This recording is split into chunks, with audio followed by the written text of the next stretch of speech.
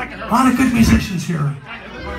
Makes me happy. Of course, Venray's here tonight too. The guys in Venray, great band. Put your hands together for Venray. Sold two million records, did about three million of them cocaine. They're still in debt. no one's perfect. And of course, the best bass player here besides Tommy Black, Chuck Wright from Queen, from Quiet Riot. Chuck Wright, such a good fucking player. Boy, is he good. I toured with him before.